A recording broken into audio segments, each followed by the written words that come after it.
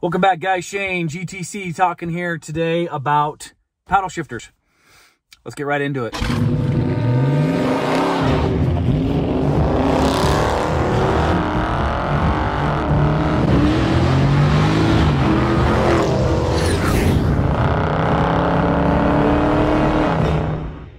So, I get questions sometimes. Why do you use your paddle shifters? Well, um, and I and I know that uh, a couple of videos you guys seen me use them.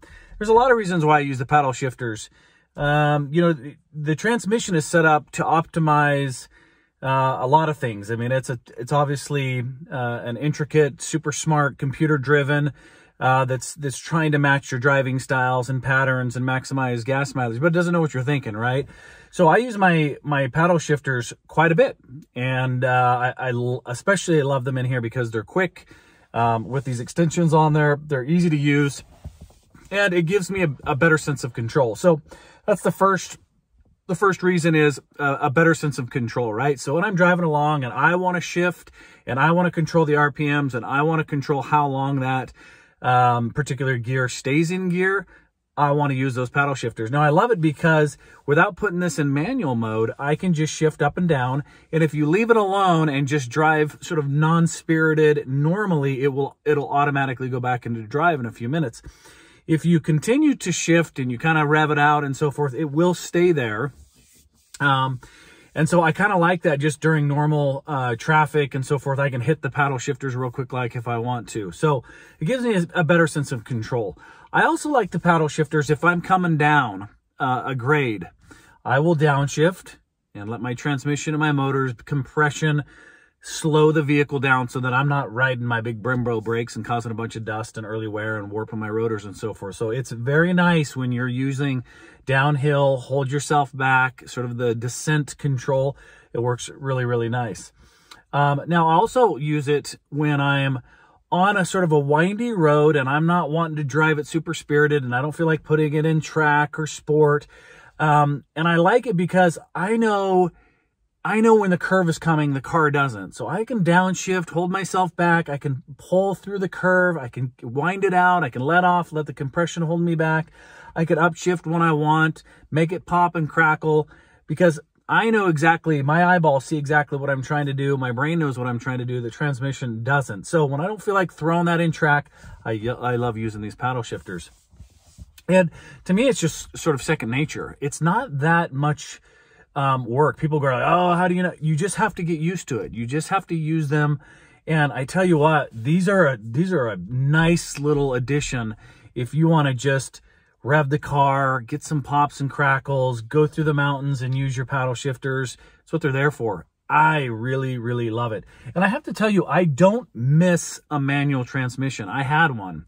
Um, I just, I really just don't. The whole, um, the, the technology these days with how quick these, these shift, uh, just gives you the opportunity to have both hands on the wheel you're not constantly stabbing the clutch. I know a lot of you people out there love your manuals, and I get it. I, there's something about having a manual, but for me, I haven't yet quite missed this. And part of it is maybe because I do a little bit of combination of some some driving within the city that has a lot of stop signs and stop and go. I don't miss the whole stop and go with the clutch and letting that out, especially in my Chevy SS that had the skip shift, where if you weren't driving and revving those RPMs, you go to shift from first and it blocks you out. You got to go first to fourth and you got to, oh, it was a pain. And I know the Chevy Camaro owners have the same thing, but that was, that was terrible. Um, so I love the paddle shifters. I absolutely love them. And I know, um, my brother doesn't use them a lot um, maybe he's um, a little bit unsure, and that's not a knock. I'm just saying he just doesn't uh, he doesn't use them as much as I do. But I just think it gives you a really nice sense of control.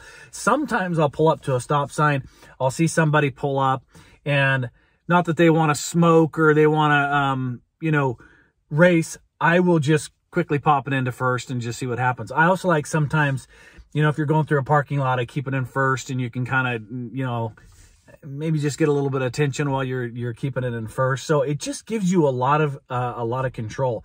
And I will tell you more often than not, when I drive, I use my paddle shifters. Uh, there there isn't a time where I'm not where I'm not using those. So I think it I, I think it gives you some control. So sense of control, driving style, especially on some of the back roads where you're trying to avoid that downshift and then upshift and downshift and then it's trying to find that right gear for you. Now you can eliminate some of that by putting it into sport or track. It will hold those gears a little bit longer, but I, I, I like to do it just because it doesn't know what I'm thinking particularly. And then of course coming down the hill, if you want to hold that vehicle back with the downshifting, it, it works great. Save your brakes, um, save the wear and tear and, and the compression of the motor. That's what it's, it's there for. So Tell me what you guys think about using your paddle shifters. I think they're great, and I will tell you this edition here of the um, extension, because I do think that Dodge missed the boat a little bit on these tiny little uh, these little shifters, and maybe if they made them a little bit taller, um, a little bit more accessible, like the maybe like the Nissan GTR or some of the other vehicles where they sort of go up and down on both both sides, people might be encouraged to use them a little bit more. Um, but I, I absolutely love mine. Absolutely love mine. So, um, another just plus on the vehicle, as I get to know this, I'm at 5,000 miles now. There isn't a time that goes by or day that goes by. I don't know, just love jumping in this in this car and, and giving it a good rip and and I'm having a I'm having a blast, you guys. I think what I'll end up doing is do a 10,000 mile review. I think that's pretty fair. Most people will drive about 10,000 in a year. What's interesting is March is coming up for me and I only have 5,000 miles on it. Um, and I have taken it on quite a few trips. It's just that my daily commute doesn't rack up a lot of a lot of miles, but I'll do a 10,000 mile review. I think that'll be fair. And so far, so good, you guys. If you're thinking about the Charger 392, um, I'm not seeing a whole lot of downsides, uh, you know, especially the four door uh, Challengers are awesome as well, but I just love the four door being able to haul around the family in a, in a, you know, muscle car. So, um, I hope you guys enjoy, enjoy those paddle shifters, start to get to use them and uh, get familiar with them and let me know what you think. Till next time. See ya.